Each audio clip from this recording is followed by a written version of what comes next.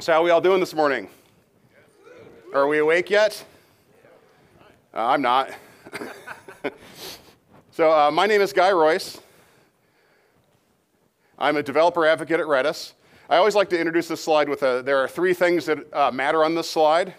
One of them matters to you, one of them matters to me, and one of them matters to my boss. Any guess which thing matters to my boss? I'll give you a hint. uh, I work for Redis. Uh, how many here have used Redis before? About half of you? That's, that's pretty typical. So, uh, and how many here have used it as a cache? How many have used it as, as anything else? A couple of you. What do you use it for? Notifications using uh, PubSub? What, someone else? PubSub. Yeah, that's, that's, that's always number two on the list. So, um, and so what, one of the things my boss wants everyone to know is Redis has more than PubSub. It has uh, more than get and set. It's more than a cache. It can actually be your primary database. It's got lots of cool features. We're going to look at one of those features today, but mostly we're going to look at uh, software-defined radio. But the feature we're going to look at a little bit is uh, event streaming in Redis. And it's very light on the uh, what is an event stream. Just show you how it works. Uh, the thing on this slide that matters to me is that Twitter ID right there and the social media links and all that. I judge my value as a human being based on how many people follow me on Twitter. And if you're on Blue Sky, uh, anyone on Blue Sky yet? There's only 60,000 people on there right now, but it's, uh, it's Jack's uh, new uh, Twitter alternative. It looks just like Twitter, but it's not. I'm at guy.dev on there. So, and the thing on this slide that matters to you, and this is actually the most important thing on the slide, is that GitHub URL. So all the code for this uh, crazy monstrosity of a piece of software I've built is out there on GitHub for you to go play with as well. You'll need to buy a little bit of hardware to do it. So, welcome to tracking aircraft with Redis and software-defined radio. Are we excited? Thank you for faking it. a couple caveats about this talk. Uh, this is a caveat I, I, tend to use quite a bit, which is I am not an expert. Um, I actually hate the word expert because it says so much, but it doesn't say anything at all. Uh, there are probably people out there that think you are experts at computers. and you're like, no, mom, I'm not going to fix your PC or your Mac. But if your mom's running Linux, I want to know. uh, I'm not an expert. Uh, I'm fairly new to uh, radio. I've been doing it for about a year now. I've got my uh, ham radio license. Um, and so, you know, I could say some things that are not quite exactly accurate, but that's okay. The goal here is to introduce you to something and get you excited. Uh, this is, uh, you know, basically I've got an hour and some toys, and so there's a lot of demos. So I'm going to spend a lot of time not in slides and a lot of time showing you how to do cool stuff. That's probably acceptable. I'm, I'm guessing, right? And uh, this isn't as true as it used to be because I've honed this talk down, but this talk is still a little bit all over the place. And the reason it's all over the place is because um, I built a cool thing using a lot of tech. And that tech involves radio, I've got my little handheld here, tuned to the official, uh, as of last night's frequency for uh, Stir Trek, which is 445.475 megahertz in the 70 centimeter band. It involves uh, talking about aircraft and pulling data off of aircraft transponders. Uh, it uses event streams. And in addition to event streams, it actually uses a whole bunch of other stuff in Redis. In fact, Redis is kind of the heart of what I built. So, so there's a lot of pieces, parts moving here. I'm going to touch on a couple of them. But the most important question is, which you're probably all wondering is, what the hell is software-defined radio? Well, we all know what radios are. We've all been exposed to radios our entire lives. Uh, I'm, I'm, actually a member of the ARRL. If you're a ham radio operator, you probably know what that is. If you're not, uh, I think it stands for the American Radio and Relay League. I think that's right. But it's basically like the AAA for ham radio operators. And um, they just had their 100th anniversary. So radio has been a part of our lives for all of us in this room our entire lives. A software-defined radio, as opposed to a regular radio, it's, a, like, it's like a regular radio. It's like one of these guys right here. Like, you see the picture there. This is a cheap Baofeng radio I bought on Amazon for like 25 bucks. I think the aftermarket antenna I put on it cost more than the radio itself. Um, or uh, here we've got, in, in, the picture here, we've got a, uh, a very expensive HF uh, Kenwood Those run for about $1,000, roughly. 1000 They get into the four-figure territory. Um, software-defined radios like these radios, but these radios have a bunch of circuitry in them to uh, do things like decode the signal. You've probably heard of FM and AM. Those are not bands. Those are ways of encoding data on a radio wave. FM is frequency modulation, you vary the frequency back and forth. AM is amplitude modulation, you vary the amplitude of the signal up and down. And these radios have circuitry in them that knows how to decode that and turn it into something for you to listen to. And there's lots of different ways of encoding this stuff, and these radios have lots of circuitry to do that. A software-defined radio doesn't have that circuitry. It just has the receiver. A software-defined radio is a radio that you plug into your computer. It has a port for an antenna, has a USB port. And uh, I gave this talk in Poland a, uh, a few weeks ago, and they asked me, how did you get this into the country? you know, the software-defined radio. And I said, well, it's all about proper labeling. so software-defined radio doesn't have all the demodulating stuff. It, it's something you plug in your computer. And the magic of it is, is that all that demodulating and decoding is done by software. So you can get a lot of that circuitry that's in the radio and offload it into software. And so it can take a radio that could cost hundreds of dollars and turn it into a little dongle that you plug in your computer that costs 30. And uh, in addition to uh, allowing you to then use software to demodulate, there's a lot of data being sent out there as well, and you can decode that as well. And so I, it's often easier just to show you what software-defined radio is rather than tell you. So I have on my computer here a software-defined radio plugged in. I'm not going to I'm not gonna show you because I'd have to unplug it and that would break things. But I am going to show you use in action. So I've got it hooked in here, and over here I've got an antenna uh, stuck to that pole there precariously, and we're going to watch it work. So let me go into this piece of software here. I'm going to select, and I apologize for the super tiny font on this. It's hard for me to read too. I haven't figured out how to change the font on this, this particular program. But I'm connecting to my software-defined radio, and I'm going to give it a frequency, 162.55 megahertz. Anyone here know what frequency that is? It's your NOAA weather radio uh, for, for Columbus. And it's a great one to use because then when this video goes on YouTube, there's no copyright strikes. so as I turn this on here, let me make this, let me embiggen this. You can see the signal, right? That is the National Weather Radio broadcasting their audio. If we want to listen to it, we can go ahead and let's see if this works. Go to narrowband FM, that one right there. Apply. Wind 5 to 10 miles an hour. Tonight, mostly clear. Lows in the mid 40s. Not cool. East winds around 5 miles an hour. Saturday, mostly. And so this is broadcasting. In fact, uh, this can pick up, this software-defined radio I'm using can pick up signals from about 300 kilohertz all the way up to about 2 gigahertz. And in fact, I've got a little handheld radio here that I'm going to, uh, to demo this with as well. So I have tuned it to 445, 475.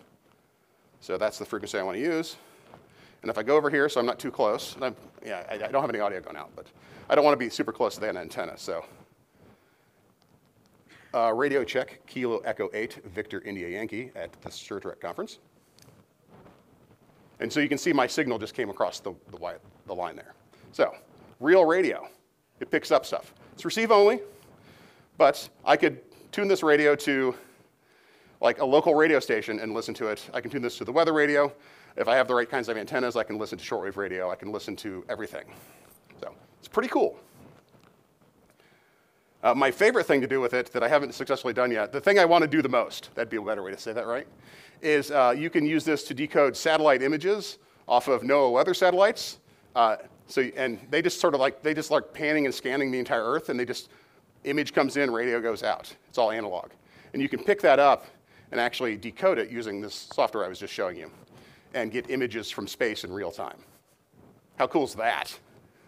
For 30 bucks and a homemade antenna, which is made out of an old set of rabbit ears. So, so that's what software-defined radio is, uh, simply put. Uh, here's some of the, the, hardware that I've used, uh, that I'm using here. Um, this is the RTLSDR.com. Or, or, it's called the .com on the thing. I don't know why. Um, maybe it was made in the 90s, you know.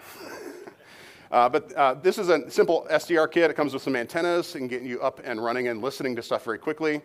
Uh, that kit's probably, with all the antennas, is probably about 50, 60 bucks. Uh, the SDR itself is are about 30 bucks now. Uh, if you want to listen to shortwave, you can make some homemade antennas, but I've had a lot of luck with this particular one. It's a loop antenna. Uh, it was, I think I paid $40 for it. Uh, and I literally used this antenna. I hung it in my dining room window facing east, and I picked up a shortwave radio station, commercial, with a lot of power, from Lhasa, Tibet. So I, literally the other side of the planet. Very cool, right? And, uh, but if I was uh, going to start over and just buy a kit, I'd probably buy this kit here. Uh, one of the things with this SDR, the, the, the cheap one that I, am using today, is that to get into the HF frequency where all the shortwave long range stuff happens, um, it's kind of a hack and it's noisy. There's a lot of interference. And this has what's called an up converter, which uh, by Nooelec, which takes it's designed to listen to that lower frequency and then bumps it up to a higher frequency so that your regular SDR, which is also included in the kit, uh, can, can hear it. And it's got some other things that make it very easy to make your own antenna.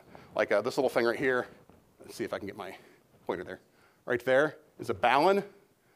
And that is an easy way to uh, hook your SDR up to a homemade antenna. And I literally used that with a piece of bell wire that was about 40 feet long that I attached to the playground in the backyard and was able to pick up shortwave radio stations. So antennas don't need to be fancy. If you're a ham, uh, uh, you, you, probably know antennas have to be the right length and have the right uh, tuning to be used uh, correctly uh, for transmit. But for receive, it's actually really, really forgiving. So you can make a super janky antenna and still get stuff. So it's really fun, accessible, it's very hackable. It's a lot of fun. For software, all the software is free. If you're a Windows user, which is probably about half of you, uh, SDR Sharp runs on Windows nicely. It's a really good experience. Uh, given the name, any clue as to what language it's written in? Yes, it only runs on Windows, uh, but it is a really solid piece of software and it's got a whole plug-in architecture. If you're running Windows, it's a good option. Uh, GQRX is, uh, uh, is an older one that works really well on Linux, like you can run it on Raspberry Pi. And so some people create little radio appliances, for lack of a better term, using a Raspberry Pi and uh, GQRX and a software-defined radio. Cubic SDR works nicely on a Mac. Um, it's open source, it runs on lots of computers, but uh, it's, it's one that I got working the best on my Mac until SDR Angel came out. The one I demoed earlier is SDR Angel. Uh, it's really powerful, and if you're a ham, you can do uh, transmit and receive with it if you have the right equipment. And um, it's, um, it's got a lot of stuff baked into it. So like if you want to decode satellite images with say SDR Sharp, you have to then patch your audio out and de decode your audio, patch it to another program, which then turns it into data. And so you're doing like virtual audio cable swaps and stuff. SDR Angel has a decoding option for those satellite images. It's very powerful. Its learning curve is a little steep, but once you figure it out, it's, it's really the best tool in my opinion. It is a little unstable, uh, all this stuff is built by volunteers and hobbyists and enthusiasts. So, but if you want to get started playing with this stuff, these are, these are the things you would use. And the cool thing I mentioned earlier, there's a lot of data formats out there. I mentioned, mentioned the NOAA weather formats, the NOAA weather satellite images. But there's actually a lot of data formats that you can pick up with an SDR. Probably the most old school data format is arguably not a data format at all. We've all heard of Morse code dot, dot, dot, dash, dash, dash, dot, dot, dot. Uh, Morse code is, uh, is really not data, it's encoding. And it's actually uh, hard to machine decode because uh, just like character, handwritten character recognition was a hard problem until convolutional neural networks, Morse code tends to have those sort of artifacts in it like humans do because it's keyed by humans. If you do machine keyed Morse code, then it can be, of course, decoded easily with machine. But if you're doing it by hand, it's often hard to do. But it's out there. There's a lot of it. It's, I, honestly, I don't know Morse, but it's, it just, it's kind of cool sounding to listen to. It feels like the 50s. It's a lot of fun. Uh, RTTY is an actual data format that's machine encoded and decoded. RTTY, radio teletype. Uh, this, this works over shortwave. down in HF. And um, this used to be how like reporters would get news and messages. You know, this is your reporter from Cairo in you know 1940, and and they would send them over radio using radio teletype. There's still a, an enthusiastic amateur uh, audience for this, where people will communicate over uh, RTTY or RTTY. APRS is a much more modern standard. It's the automatic packet reporting system. Um, how many here are familiar with X25? It's like I'm a developer. I don't care about the network. It's infinite. I just got it, right? a few of you. So X25 is an underlying, it's very low on that OSI network stack chart that you might have learned about in college and never used since. Um, and um, it's a protocol. It's, it's how you encode packets of data over Ethernet. Uh, APRS uh, uses a protocol, is built on top of a protocol called AX25, which is amateur X25. And it sends radio packets out instead. And you can do these over several frequencies. They operate at about 1200 baud. They actually use the same encoding that old school modems do. And so when you listen to them, it reminds me of being in college connecting to a BBS with my cheap modem that was too slow. And I'm not talking the 56K uh, modems that you use to get onto uh, the internet, millennials. I'm talking about the, uh, to the Gen Xers. um, the really old school 1200 uh, uh, baud, right? It's just real slow. And uh, APRS is sort of this network of uh, devices just sort of shouting out information. And it's, uh, it's not trying to guarantee delivery like a packet-based data network normally would. It's just saying, here's a packet encoded this way. If you get it, you get it. And so there's all these uh, things out there emitting radio packets. Uh, things like vehicles. People will uh, say, I'm in my car. Usually they get a handheld like this that will broadcast their location and uh, their call sign and information uh, from their vehicle. And then as they drive around, you can see where they're going. And you know, if, if you know, you're like delivering something important, then that could be useful. It's mostly people just want their uh, little car to show up on a map. That's really what most people use it for. Uh, there are, this is more useful, there are weather stations that people will put on top of their houses that will, every 20 minutes, broadcast out an APRS packet saying, hey, the weather conditions at this location, latitude, longitude, are cold you know. And individuals can also uh, send packets themselves. These packets can contain text. So I could send a packet from a radio, and if you have a radio as well, it would show it's from me with my call sign, and I could send you like a short little text message. And then you could text me back. And so all these uh, packets are being generated using APRS. They are broadcast out, and they are picked up by other individuals, so anyone can listen to them. Uh, they are picked up by repeaters in the area and repeated multiple times. So if I broadcast a packet near a tower, then that tower might pick it up and repeat it, and then that next one would pick it up and repeat it. And there's a scheme for making sure that it doesn't just turn into an endless ripple, and so you don't get loops and stuff. And uh, some of these repeaters are, and, and lots of uh, just nodes, are what are called internet gateways. Because the APS system, APRS system, isn't just packets of data going over radio, some of these towers will pick them up and then feed them into uh, the internet. And there's a whole cluster of servers that manage all of the APRS data worldwide. And so this allows you to do interesting things like, I want to send a packet from, uh, a message from me to someone in Spain. I can address their call sign and it will go into the internet and then come back out to the internet and broadcast from one of these iGates. So these iGates are bidirectional. So it's pretty cool. Uh, there's other things like uh, there's a little uh, weather bot called WXBot. You can send it a zip code. It'll tell you the weather forecast for that location. Uh, there's all kinds of stuff. There's even an APRS repeater on the International Space Station, and you can bounce a, a signal off the International Space Station and back down, which lets you get a lot further than locally. APRS is really cool. It's a big topic. I could do an entire talk on it. Um, I normally try to demo it, but it's hard to pick up packets sometimes, but we, we could try. I mean, actually, eh, I don't want to take, I'm not going to take the time. Um, I, I, it'll be a little bit of a distraction. let's do it. You want to do it? Okay. Redis later. Sorry, boss. This isn't on the internet, is it? No. Let's go ahead and turn this guy back on here. Whoops. Not like that. Re- Come on. We'll connect to the SDR again. And we'll go to 144.39. We'll hit play. We'll turn off that little DC spike there. And we'll turn the gain up.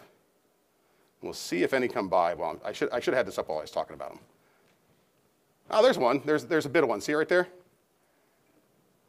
Let's see if we can turn the audio on. So these are literally. Um,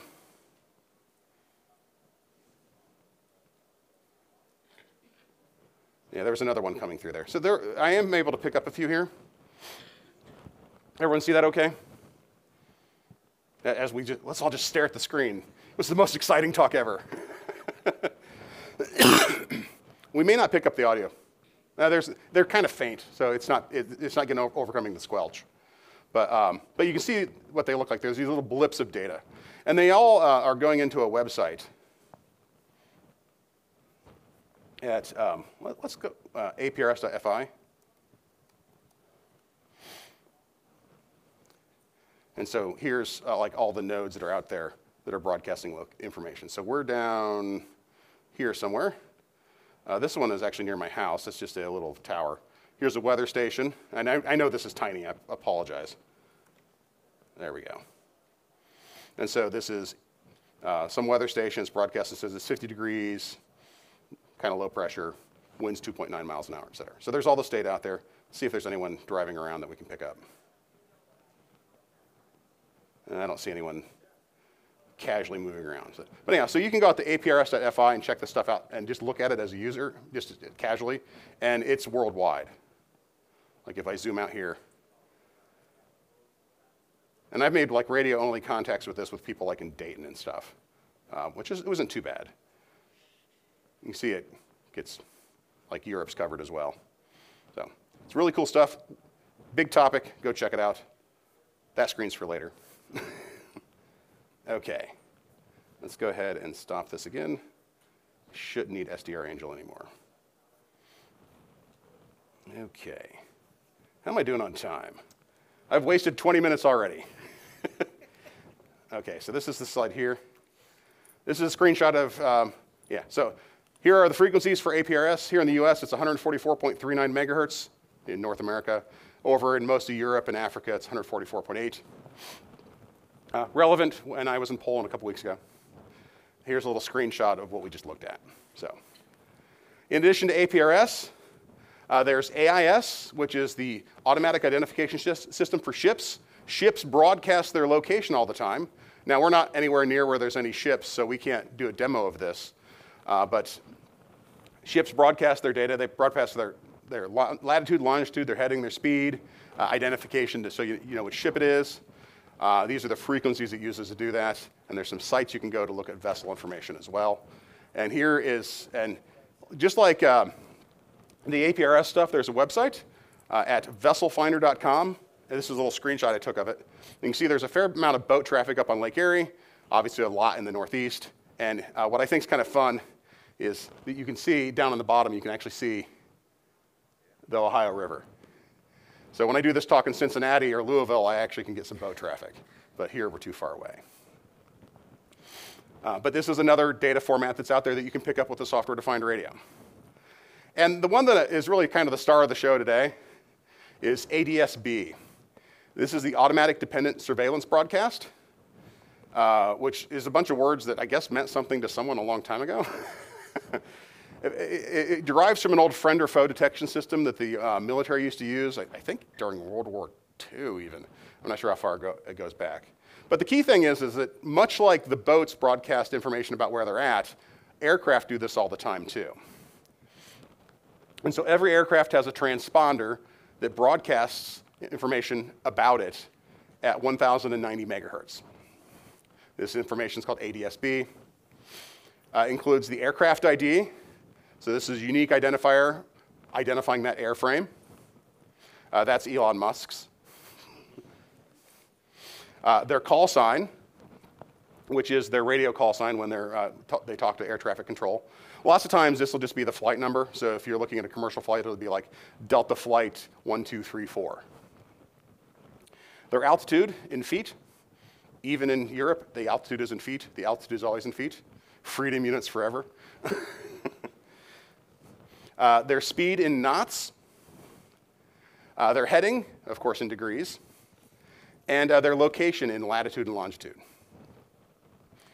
And uh, there's a convenient piece of software that will talk to a software defined radio directly and uh, read this information for you. It's called Dump 1090. And this is a screenshot I took about nine months ago or so. Um, and uh, interestingly enough, this is totally coincidence. When I put this together, this talk, I realized this after the fact. Uh, the guy who created Redis, uh, Salvatore uh, Sanfilippo, is the guy who wrote Dump 1090. he, he was like, over Christmas, he didn't want to relate to his family, so he wrote this instead. And so he wrote it like on a holiday weekend. Uh, but this goes and uses a software defined radio and an antenna to pull that transponder data, that broadcast that's coming from the aircraft, and put it on a nice, neat display here. And so we're going to see that happen right now. So are we ready, to look at some aircraft? Damn straight we are. Okay. Don't need that. You all see my screen? Okay, so I'm going to run dump 1090 dash dash interactive. Let's embiggen this a little bit. I apologize for the black background there. It makes it a little hard to see. So I've got, I don't even have my proper antenna hooked up. Let's go ahead and stop this. Stop that, stop that. And hook up the correct antenna. So I have right here an antenna purpose built for receiving ADSB trans, uh, transmissions. And so it will do much better than the antenna over there, which is not designed for that frequency. So let's hook that up, run it again. okay, you see it's picked up OSU 10. That's probably someone flying out of uh, Don Scott. Uh, JBU 633, I'm guessing that's JetBlue Airlines. Now, uh, this is vertical. This antenna is horizontal right now. If I bring up vertical, we should pick up a lot more signals. Maybe not. But you can see it's picking up aircraft. If I walk over here, maybe it'll be better because it's closer to the door. Anyhow, well, it's picking up stuff. I'm just glad it's picking up anything at all in this giant concrete bunker. Um, so here we got OSU Flight 10 and 15. Those are probably both, if you look at their altitude, they're low. Those are probably people who are learning to fly. Uh, this is American Airlines Flight 260, United Airlines 788. Right? So dump 1090 is pulling data. This data is coming from the antenna that I'm holding in my hand here, and it is going on our screen, which is pretty cool in its own right, right? But wait, there's more. so uh, I, when I launch this, I use the dash dash net option. And that means that it's got some ports open. If I go to netcat localhost, I can type 30,002, here are the messages coming in. Uh, they're in hex, and then you decode them. One message would be like, my, my position is this. Another message would be like, my altitude is this. My, another message might be, I'm this, this is me, and I'm here. Uh, and so as messages come in, they're being displayed in hex. You can easily decode these, but you don't need to, because if I go to port 30,003, I get something even easier to parse. This is a standard called SS, uh, SBS1, um, which is some sort of standard for like radio tower. I don't know what the standard is, but it's a standard. And because it's a standard, someone wrote a node library for it. And the node library will even open the socket on my behalf. So I literally say, go to localhost, this port, and start giving me data. And every single time one of these events comes in, I get an, uh, uh, an event in my JavaScript code. And so this is all that data that we're seeing coming in, which is, you know, doesn't look as cool as over here, right? But it's totally programmable. So let's go ahead and kill that. Uh, there's actually on port 3001, you can also, um, I'm not going to do this, but you can inject data as well. So if you had uh, multiple dump 1090s, you could feed them into a single one and sort of act, use it as like a hub or an aggregator. So what I've done is something crazy. I have built a thing I'm going to go and set the antenna down for now. And uh, that, this thing will use this antenna and dump 1090 to take the uh, signals that are being broadcast by all the aircraft, and I'm going to dump them into an event stream in Redis. Because it's the perfect thing for an event stream, right? It's, it's, an event is a thing that happened with data associated with it. This is literally an aircraft saying, I'm here. That's an event. And so I'm going to shove them into an event stream in Redis. And then I'm going to consume that event stream and put it on a map. And we'll have a real-time flight radar based on where all the aircraft say they are. The Redis version that I'm going to use, and this is the advertisement part, is a Redis stack. I will, I will say, in defense of this, is that uh, Redis stack is an amazing way to use Redis. It's, it's the version I use all the time. I've got an instance running right now. It's not just because I work there. It actually would be the version I would choose to use. Redis stack is the Redis you know and love if you've, a Redis user already. It's got all the things that open source Redis has, including streams. And it has some extra data types like uh, JSON, so you can store JSON documents as JSON. How many here have tried to store JSON in Redis and you put it in a string and then you need to change it, you got to pull it out and decode it and big pain in the butt. If you just store it as JSON, you can do commands to modify it.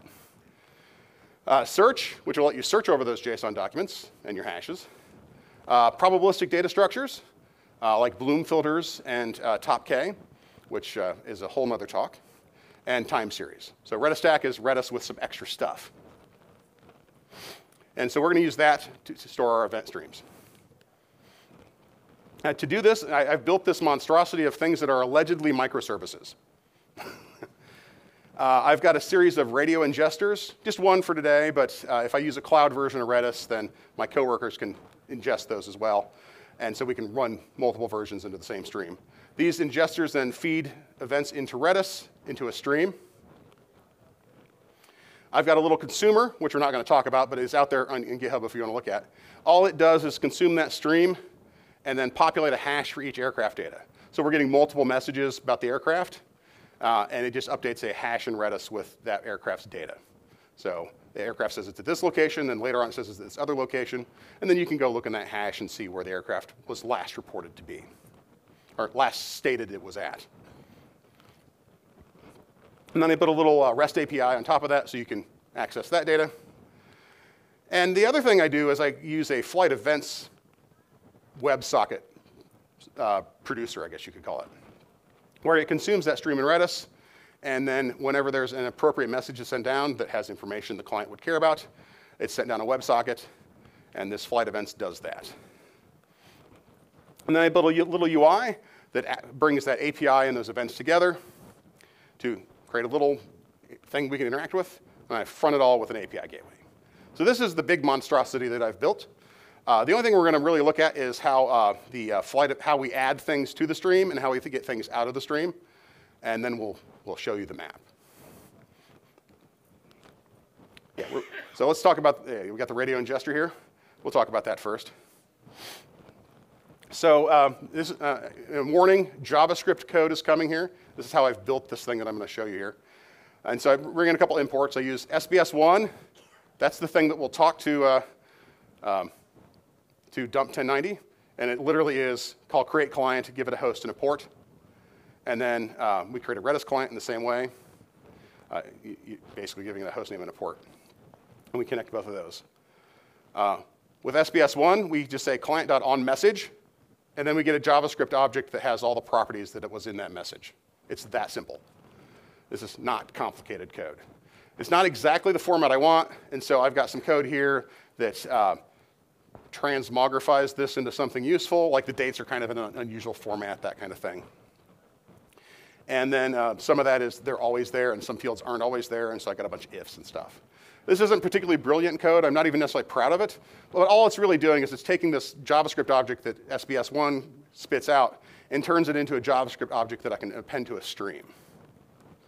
So that's all it's really doing. And like you notice here, uh, the altitude I have to call toString on it because streams and Redis require all of your properties to be uh, on them to be strings. Who here has used event streams before? Show of hands, a couple of you. So if you haven't used event streams, uh, who has heard of Kafka? This is like Kafka Lite. um, Redis, open source Redis has uh, streams built into it. It's a data type if you're using Redis 5 or later. Uh, the idea of a stream is that it's uh, a sequence of unique events that happen in time. By definition, they have happened, they've happened. They're not happening. They're not, you know, it's a moment in time. This thing happened. Like uh, if you had a bunch of household appliances that were feeding things to your streams, your, your, your dryer might say, I'm done. Uh, your microwave might say, ding. Um, those, someone pressed the doorbell. These are events. Uh, now, you could have events in your software systems as well, things like someone uh, submitted a new order. Uh, in our case, our events are an aircraft reported their location. And in Redis, uh, the streams are set up as, well, in any event stream, they're really kind of a series of events that are stacked on top of each other. So in Redis, we've got an event that has an ID and data associated with it, and they're chronological. So they'll stack up over time. Uh, our ID in Redis is made up of two numbers. The first number is a timestamp, a Unix timestamp in milliseconds. The second number is a sequence number in case you get more than one event per millisecond, which is totally very likely. And then as they come in, they just stack on top of each other. And um, they, they're ordered, right? They're chronological. You kind of think of them like a log file. Uh, I don't know that I would want to capture a log file in an event stream, because log files are more informational, like, hey, I started this thing, this thing's happening. Uh, and it's probably too granular, but you could do that, I guess, if you wanted to. Um, that streams in like 30 seconds. Um, they're a useful data structure if you've got something that's chronological and you want to be able to uh, uh, replay it or uh, wait, wait for events to arrive.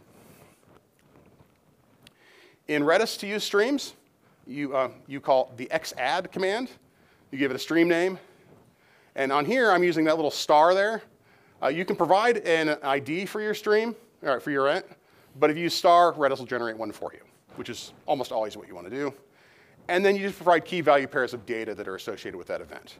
So here, um, an aircraft, uh, AC, or A835AF, which is Elon's, uh, and call sign, uh, whatever that call sign is, has reported that it exists.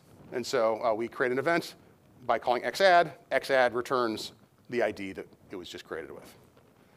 And we could go out and read the stream by saying xread streams, the stream name, and then the key we want to, the ID we want to start from.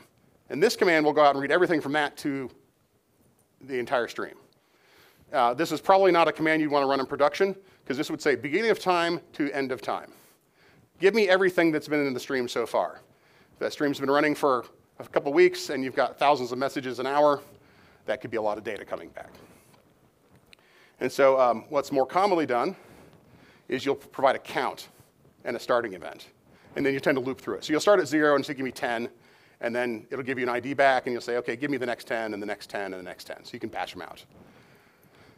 to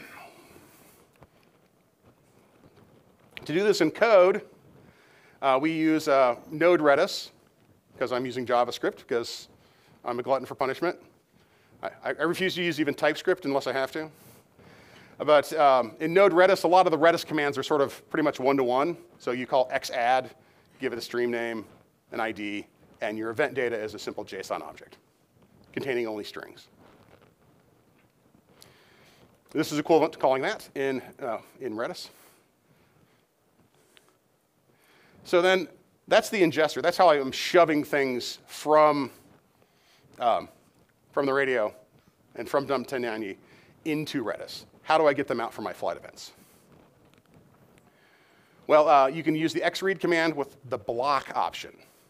What xread block does is it says, read, um, and if there isn't anything, wait up to 5,000 milliseconds or however long you want until there is something. And if there isn't something, just return, hey, I didn't find anything. And then I, you might notice that little dollar sign on the end up there. That dollar sign means start at the end. Give me new things. I don't, want to, I don't care about the past. I just want to start reading the end of the stream.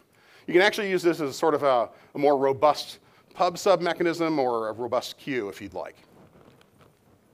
To do this in code, oh, yeah, and so, so we block, it waits, we call add, and then we get something back from that block, that, that read.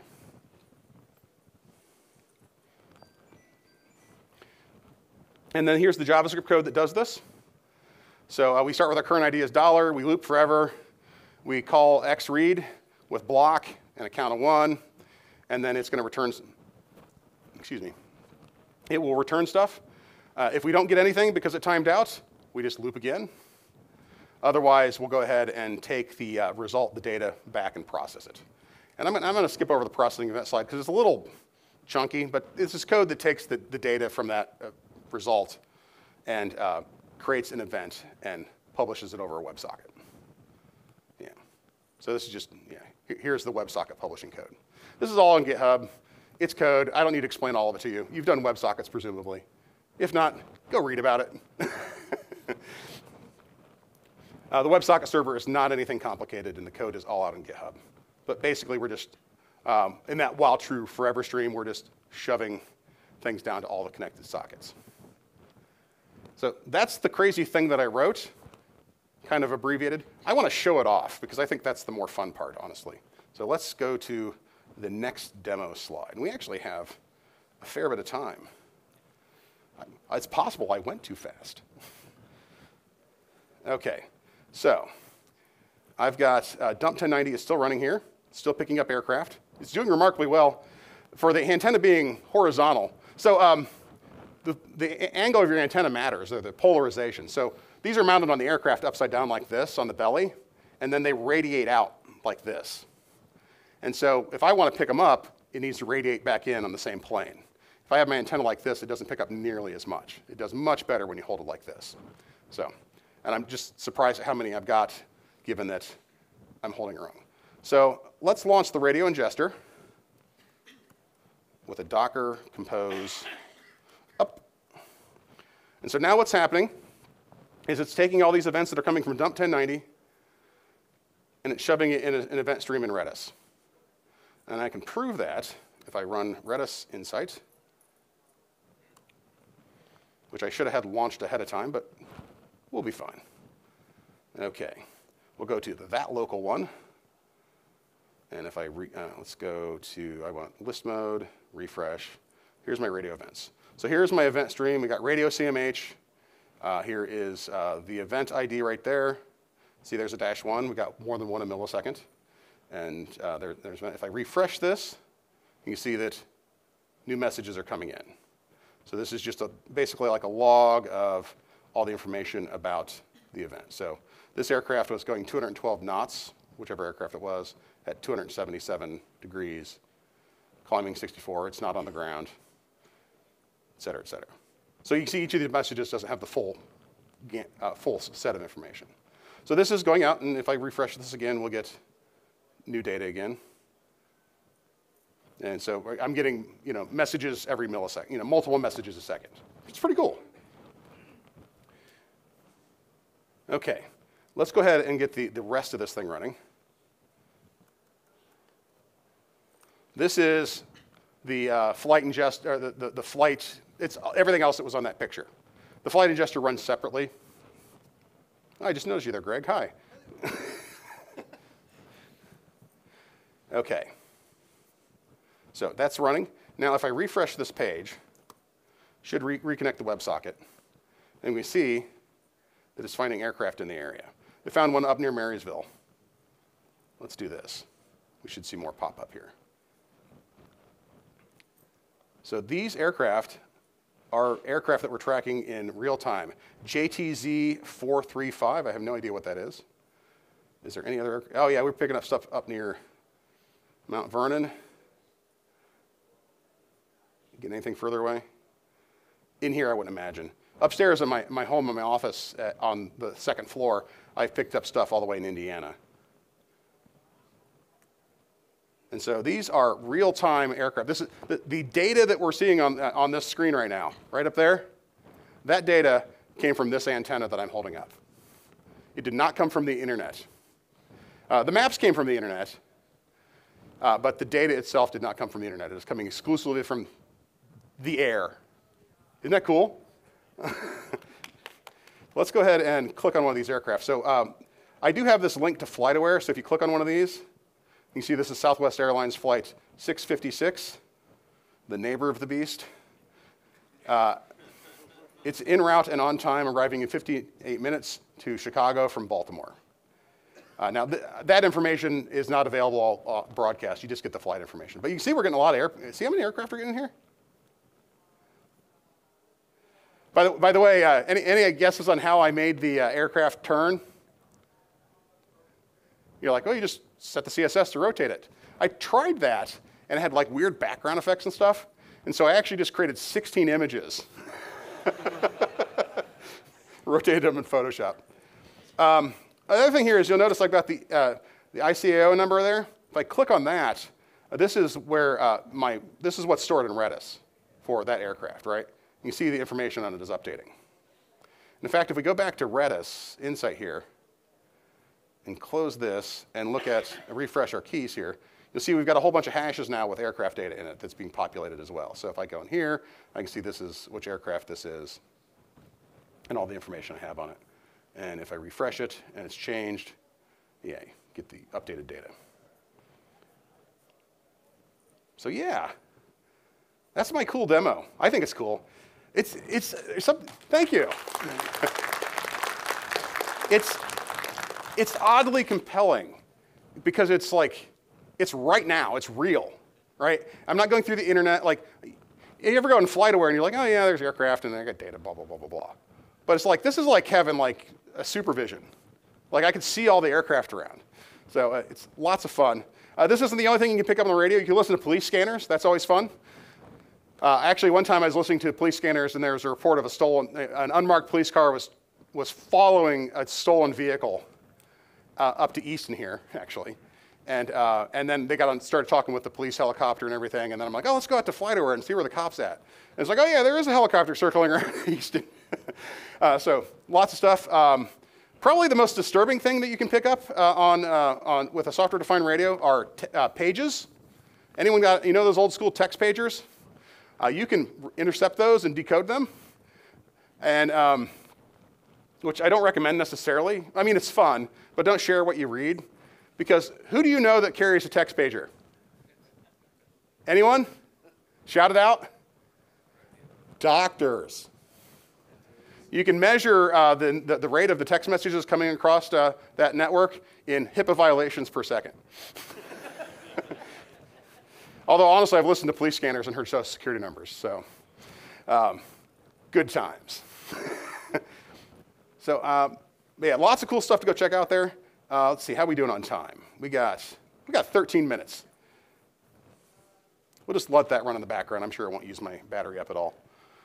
So that's pretty much what I've got. I, we can take some questions, and I got some, uh, some CTA slides here at the end, some calls to action. Uh, I'm going to do those first, and then we can do the questions. Is that okay? Cool. So um, if you want to play with this yourself, uh, you can go, uh, if you want to get Redis Stack, you can go to redis.io slash doc slash stack, get yourself a copy of uh, Redis Stack, although I just do it, I do it from Docker all the time. It's the easiest way to do it. Uh, this is the links to the various SDR software that I talked about earlier. Uh, if you want to check out some AIS trackers, there's some URLs you can go and, and look at uh, vessels in your area. Uh, online ADS, ADSB trackers. There's also one at Open Sky Network, which actually has downloadable CSV files with all the airframe data. So you could, you could actually take the, uh, the ID of the aircraft and say, oh, that's a Boeing 767 or something like that. And uh, Dump 1090 is out there on GitHub. Um, I work for Redis, as, as you might have guessed. Um, and we've got a Discord server, discord.gg slash Redis. And I know that you all are using Discord because you're here at Trek and you're probably asking questions on Discord. So uh, go out and join our Discord server. If you have any questions about this stuff, I'm on there answering when I'm not on the road. Um, if you want the slides and code and want to go check this out and you don't want to look at all the links, you can scan this QR code and it will take you to the GitHub repo with everything in it. You can safely scan this. It will never give you up, nor will it let you down. And that's my last slide other than, hey, I'm Guy Royse. So uh, now, questions. Any good questions out there?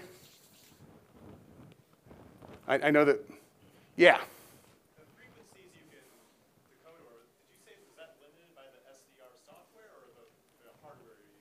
So the question is, is are the frequencies you can decode listed by the SDR software or the hardware? Uh, it's mostly the hardware. I'm sure there's a limit in the software, uh, but it, it's probably well below what or well above what is actually physically possible.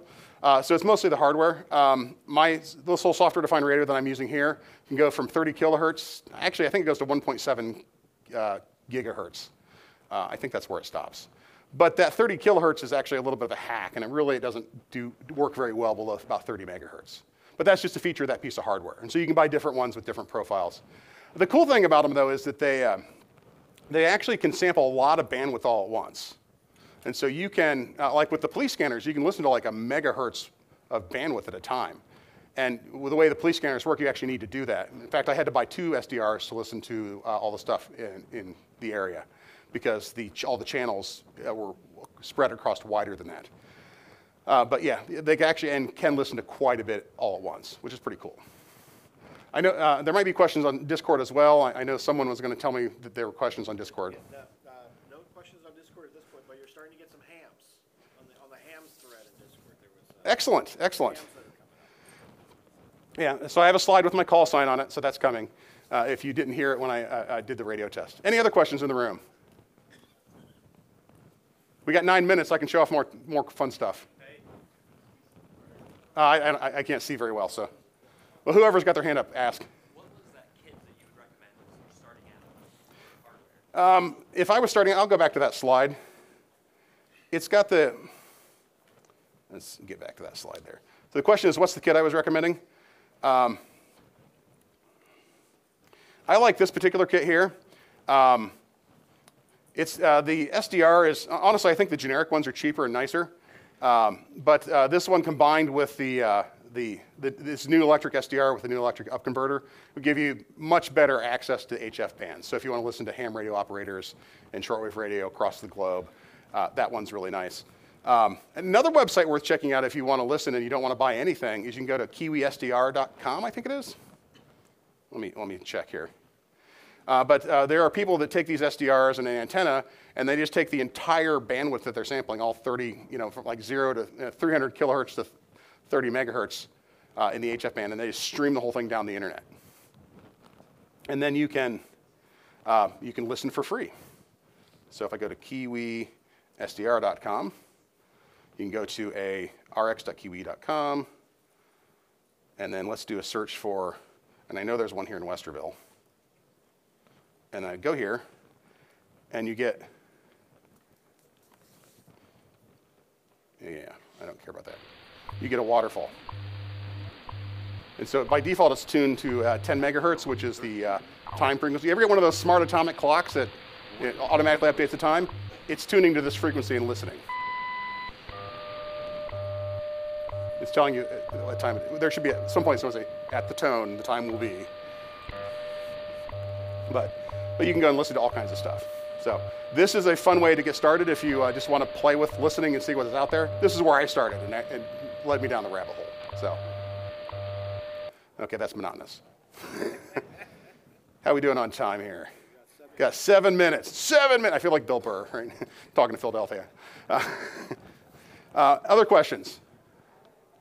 Do you know what protocol, like emergency uh, light rafts on the airplanes or ships, do you know what protocol they're they're Uh, what, uh, the question is, is do I know what protocol or what frequency uh, uh, life rafts and emergency things are transmitting on? I don't actually. I have no idea.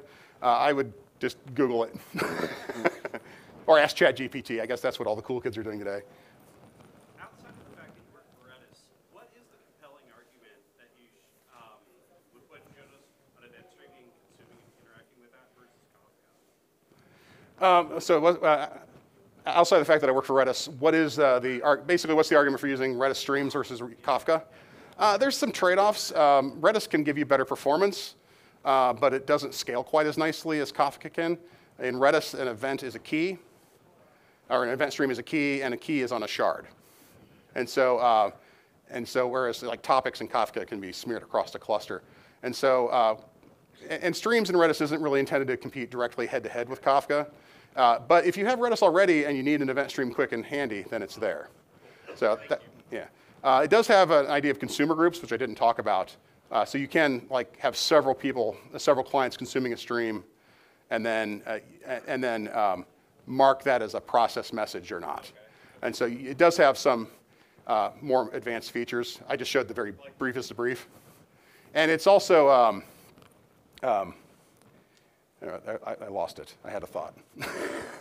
um, oh, uh, Redis, uh, in general, Redis tends to be a little more white boxed, where uh, a lot of the, like, like a race car is really fast, but you need extra expertise to drive it and work on it. Uh, and the way it gets that speed is by being a little more, by letting you control more things. Redis tends to be like that anyhow. The plumbing's left up to you. To, yeah, yeah. But you can get a lot of performance out of it. Depends on what, so, so it's a big consideration, depends on your use case. Um, is it possible to receive slash process radio signals from space with amateur equipment, not just from human sources like satellites, but from beyond?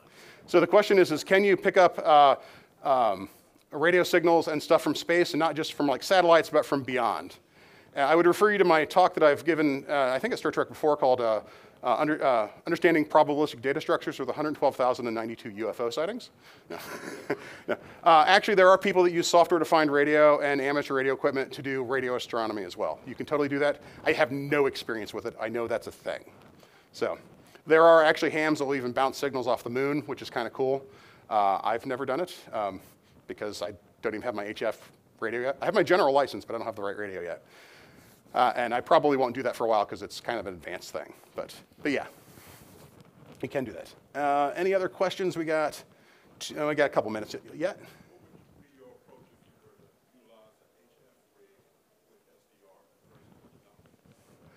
Uh, so if, um, what would be the approach if you want to use, utilize a, an actual rig as opposed to a, uh, an SDR? There are um, rigs that are, have, that are software enabled. You can buy RX software defined radios, uh, and you can buy ones that do that over HF.